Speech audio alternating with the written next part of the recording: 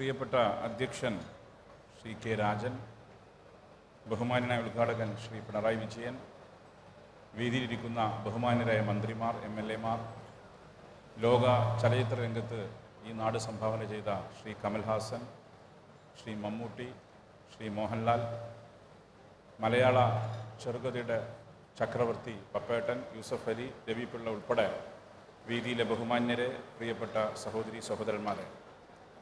കേരളം എന്താണെന്നും കേരളം എങ്ങനെ കേരള കേരളമായി എന്നുള്ള കേരളീയ സമൂഹത്തെയും പൊതുസമൂഹത്തെയും അറിയിക്കാനാണ് കേരളീയം എന്ന പ്രദർശനം ഏഴു ദിവസം ഈ അനന്തപുരിയിൽ നടക്കുന്നത്.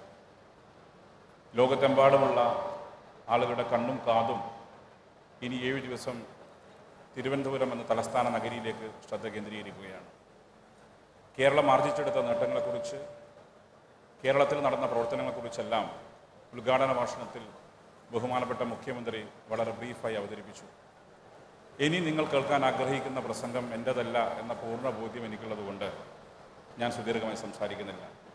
ഇനി നിങ്ങൾ കേൾക്കാൻ ആഗ്രഹിക്കുന്ന പ്രസംഗം ലോക ചലച്ചിത്രത്തിന് ഈ നാട് സംഭാവന ചെയ്ത പ്രശസ്തരായ ശ്രീ കമൽഹാസന്റെയും മമ്മൂട്ടിയുടെയും മോഹൻലാലിന്റെയും പ്രസംഗമാണ്.